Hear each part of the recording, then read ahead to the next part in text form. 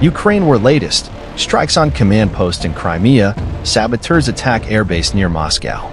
Ukraine hit a Russian Black Sea Fleet command post near occupied Sevastopol in Crimea, the military strategic communications directorate reported on September 20th. Sevastopol, in the southeastern part of occupied Crimea, hosts Russia's Black Sea Fleet headquarters. The footage published online shows explosions near the Russian airbase Belbek, north of Sevastopol. Ukraine's military hasn't specified the extent of the damage.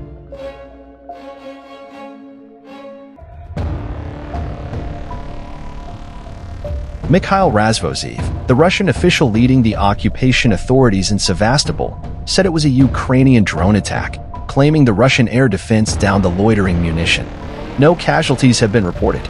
Since August 2022, explosions in Russian-occupied Crimea have been reported regularly. In recent months, there were several high-profile strikes on Russian forces in the area, including using marine drones and missiles on September 13th that damaged landing craft, a submarine, and port infrastructure in Sevastopol.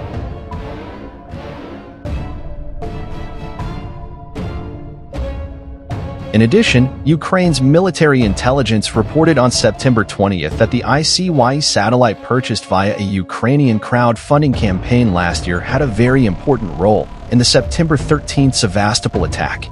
The Russian landing craft was functionally destroyed, and the submarine suffered catastrophic damage in the attack, according to UK intelligence. Military intelligence said that September 20th marks a year since Ukraine received the satellite, allowing the Ukrainian military to receive radar satellite imagery on critical locations.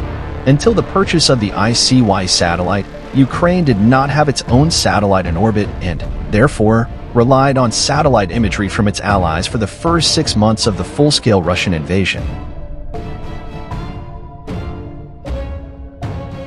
Russian state-owned media reported that a fire had broken out in Sochi, a city on the Black Sea shore near an oil depot and local airport on September 20th. A tank with diesel fuel exploded, creating a fire 96 square meters in size, according to the report.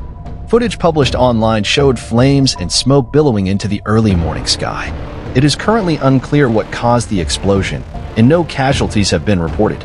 Over 1,100 kilometers north of Sochi, a Russian Su-34 supersonic jet crashed in the Voronezh region on the morning of September 20th. Russian state media reported.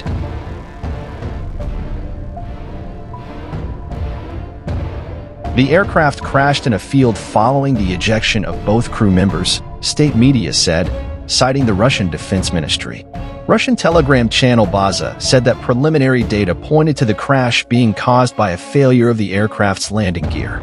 The Su-34 is a fighter-bomber aircraft able to hit targets up to 900 kilometers away while carrying 12 metric tons of bombs and missiles. In neighboring Belgorod and Oryol regions, the Russian air defense downed two loitering munitions overnight, the Russian state news agency reported, citing the Russian Defense Ministry. Moscow blamed Ukraine for launching drones. Ukraine hasn't commented on the claim. No damage to infrastructure or casualties were reported due to the alleged incidents.